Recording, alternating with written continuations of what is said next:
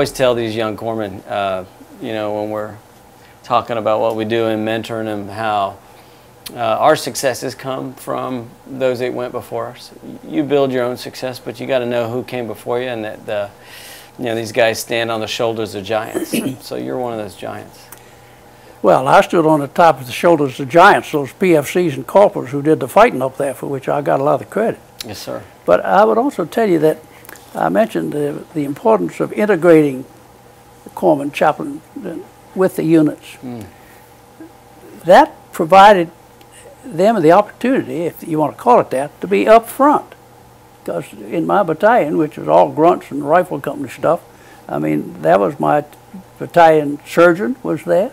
My company had a corpsman who's still living in San Diego, California. I saw him a couple of weeks ago. Yes, sir. But it also provided an opportunity for you to get hurt. And as you know, we lost a number of corpsmen and doctors Mm-hmm. uh, during that operation because they were up too close. Mm. But the, the purpose of the assignment in those days and the surgical work that was done ashore was primarily to keep the patient alive till you could get him back to your hospital. Right. And uh, once they were there, then maybe from there went to Honolulu, from there on back somewhere in the States. Through the through the But the, Yes, my point is that uh, if you're with the Marines, you're going to find yourself up front. And by putting those uh, corpsmen and doctors up there with us, they were up front. That was good for us as patients, Sure. but bad for them because the exposure that, that gave them to the, the living hell that came down in mortar shells and yes, sir. artillery shells and all that other stuff up front. But uh, the whole Navy system deserves a lot of credit for that. I heard General Krulak say it once. I'm not sure uh, if it was his quote or not, but when he said it, he said, "No Marine ever took a hill out of the sight of a Navy corpsman," and I believe that to be true. I would subscribe to that. Yes, I mean, they were with us every step of the way. No question about that. Yeah. I wonder if any of you gentlemen have a question for the general. Um, yes, sir. I think my question has to do with the raising of the flag on Iwo Jima, and specifically about Doc Bradley. Um, you know his role in that. You know, being the only corpsman in that picture, um, and also surviving it. You know, surviving the ordeal.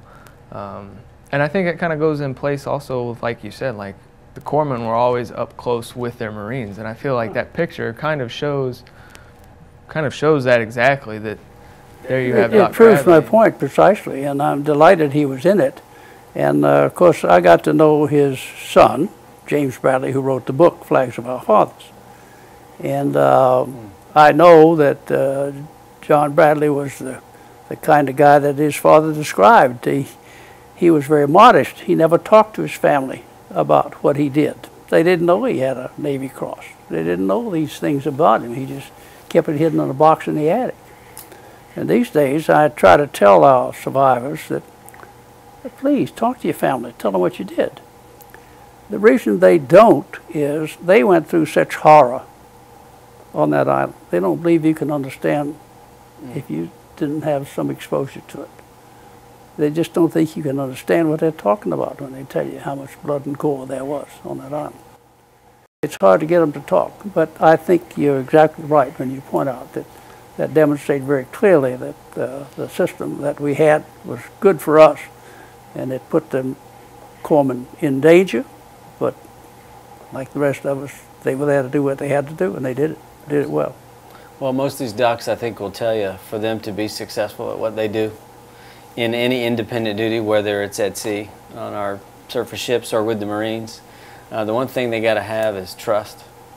And so being up forward with their platoon, training, uh, living, eating together, they gain that trust and, and they develop the That's what relationship the they system have to did. have. That's Yes, what sir. the system did. It, it, the Marines had trust that if they needed a corpsman, he'd be there, and he always was. And I think it goes the other way also that your doc, your That's corpsman, your corpsman has to trust the Marines also that if we're Yeah. working on one of the Marines doing our job that Well, the Marines are going to protect us and let us kind well, of that's do exactly why do what we we need to trained together. They trained like Marines. Right. You know, they they didn't sit back inside and watch the Marines and hope somebody get hurt.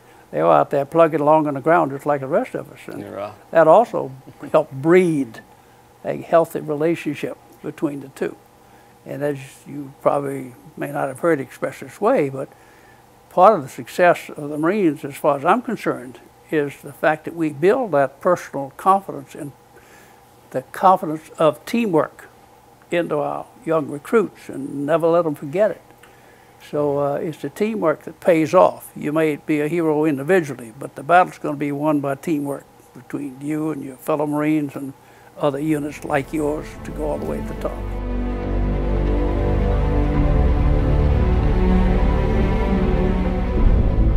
That was my first exposure to what today is called the concept of servant leadership. But the principles of servant leadership are is if you take care of your troops, you're going to do well.